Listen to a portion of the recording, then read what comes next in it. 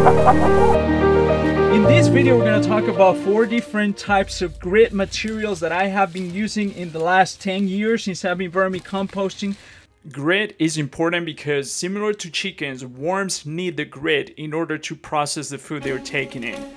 Eggshells are by far my number one source of grit in my vermicomposting operation and the reason why I love them is because once you grind them they give you a really nice granular texture and the calcium in eggshells helps you neutralize acidity when you add fresh food scraps into your system. One of the drawbacks of using eggshells as part of your vermicomposting system is the risk of getting salmonella from eggs into your vermicomposting bin.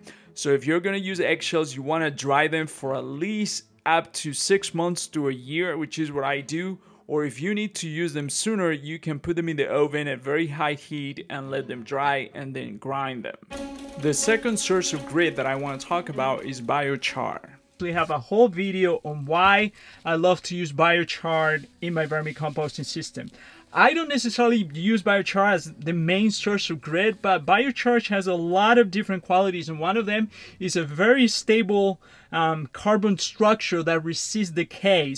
Biochar also helps um, neutralize pH, and it creates an incredible source of habitat for microorganisms. Because remember, worms eat microorganisms and the microbiology inside of your vermicomposting system, inside of your worm bin, is what's breaking down the food, is what when I think about finding sources of grit for my worms, I want something that is not only gonna do one function, and this is again thinking from a permaculture perspective of having different elements fulfill multiple functions.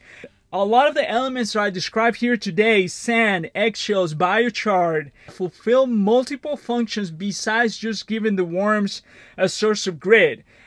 Now, the next source of grit that I'm going to talk about is actually something that I came across quite recently and this is actually bone meal.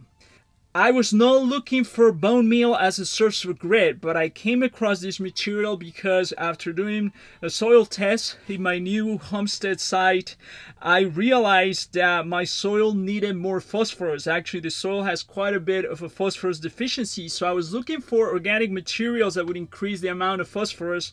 It's when you purchase bone meal, so you get a lot of big pieces of bone. One of the reasons why I was so excited when I came across this particular product when I opened the bag is because this material has already been uh, processed. Um, I wouldn't exclusively use bone meal as my source of grit, but in my case, I'm trying to increase the amount of phosphorus available in my fertilizer. I do have a very strong feeling that this will be an, a pretty pretty good source of grit for my worms. Um, so this is a novelty. This is a new material that I'm experimenting with. If you have comments, if you have any experience working with bone meal as a source of grit, please let me know in the comments. The next source of grit that I'm going to talk about is a little bit on the controversial side because most people will tell you don't use sand as a source of grit in your vermicomposting system. The main reason why folks don't like using sand is because it has a tendency to compact. If you add too much sand to your worm bin is gonna go down to the bottom and it's gonna start to pack and it's gonna form zones where oxygen cannot penetrate. So those are anaerobic areas where anaerobic bacteria is gonna start to thrive and that can potentially start to generate smells.